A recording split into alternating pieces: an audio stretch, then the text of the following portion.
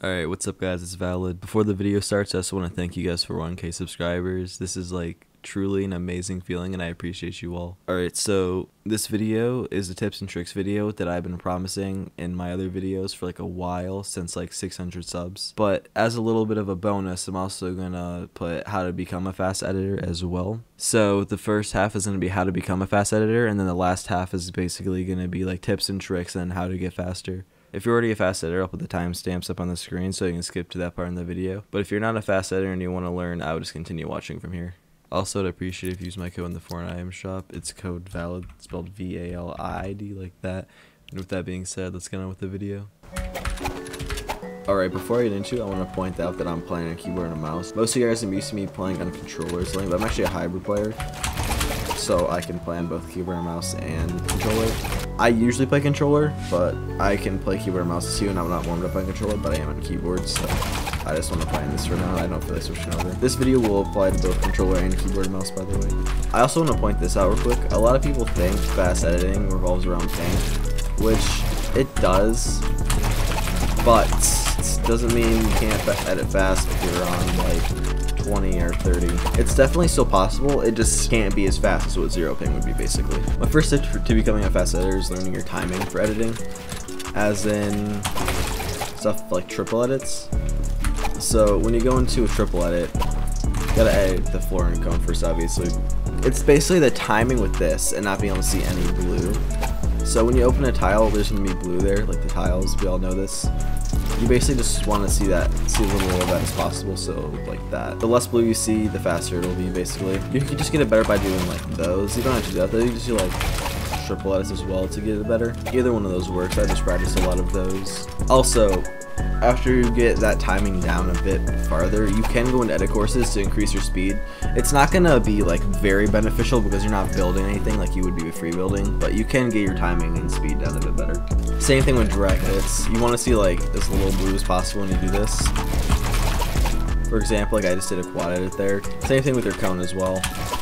The faster you select these styles here, like this, the faster that it's going to be. The next tip to becoming a fast editor would be to get your crosshair placement better.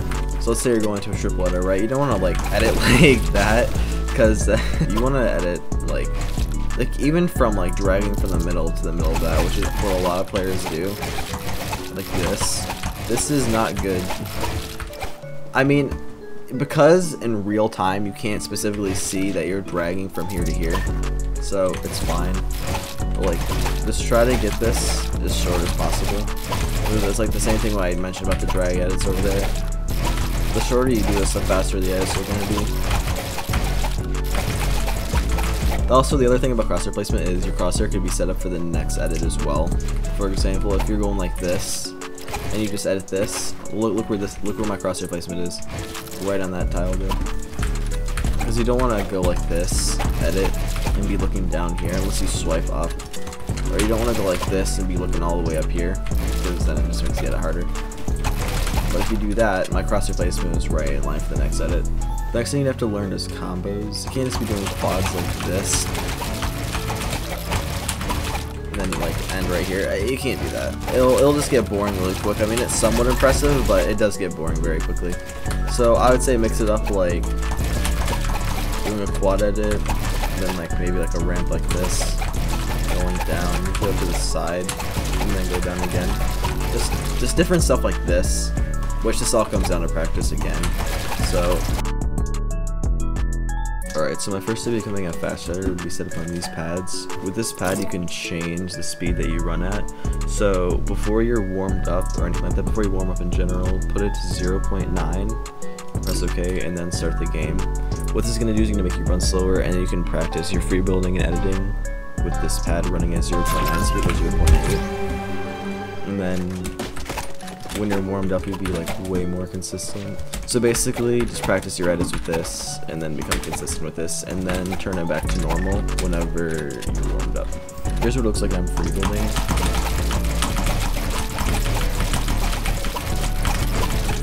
As you can see, I'm much slower making it much easier to edit. So when you get consistent doing this, basically just put it back to 1.0 and you should be much more consistent. Another tip I have is to start playing more edit courses. Edit courses will basically just either make you more consistent and increase your speed. So if you're somewhat slow, start at like level 3. Level 3 isn't hard at all, but then once you get very consistent level 3, go to level 4 and then eventually level 5. And then that'll increase your speed over time. My last tip that I have is for single tiles. This is basically what I do for editing. So I jitter click. Jitter clicking looks like this.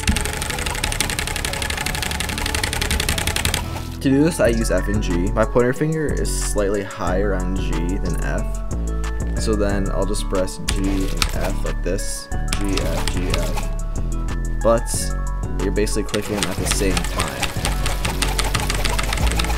that. But if you combine that with jitter clicking, it should look like this.